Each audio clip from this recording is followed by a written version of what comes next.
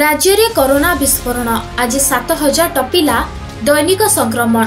ଚବିଶ ଘଣ୍ଟାରେ ରାଜ୍ୟରୁ ବାହାରିଲେ ସାତ ହଜାର ଏକସ୍ତରୀ ଜଣ କରୋନା ଆକ୍ରାନ୍ତ। ସେଥିମଧ୍ୟରୁ ସଙ୍ଗରୋଧରୁ ସାତଶହ ସାତ ଜଣ ଚିହ୍ନଟ ହୋଇଥିବା ବେଳେ ସ୍ଥାନୀୟ ସଂକ୍ରମଣ ଦୁଇ ହଜାର ନଅଶହ ତେୟାଳିଶ ଜଣ ପଜିଟିଭ ଚିହ୍ନଟ ହୋଇଛନ୍ତି। ସର୍ବୋପରି ଚିନ୍ତା ବଢ଼ାଉଛି ଖୋର୍ଦ୍ଧା।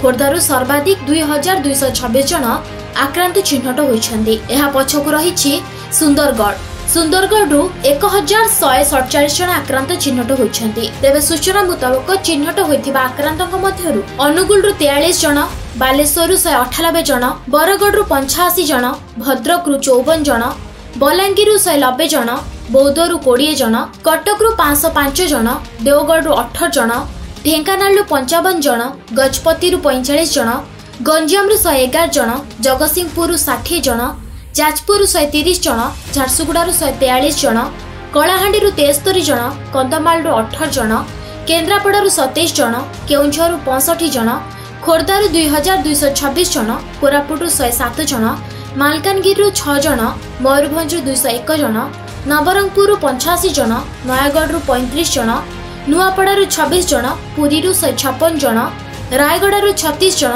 ସମ୍ବଲପୁରରୁ ଛଅଶହ ନଅ ଜଣ ସୋନପୁରରୁ ଷୋହଳ ଜଣ ସୁନ୍ଦରଗଡ଼ରୁ ଏକ ହଜାର ଶହେ ସଡ଼ଚାଳିଶ ଜଣ ଏବଂ ଷ୍ଟେଟପୁଲରୁ ଚାରିଶହ ଛୟାଅଶୀ ଜଣ କରୋନା ପଜିଟିଭ ଚିହ୍ନଟ ହୋଇଛନ୍ତି।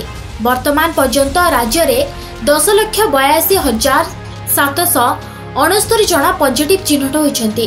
ଏମାନଙ୍କ ଭିତରୁ ଦଶ ଲକ୍ଷ ସଡ଼ଚାଳିଶ ହଜାର ଏକତିରିଶ ଜଣ ସୁସ୍ଥ ହୋଇ ଘରକୁ ଫେରିଛନ୍ତି। Bureau report Sunstar TV.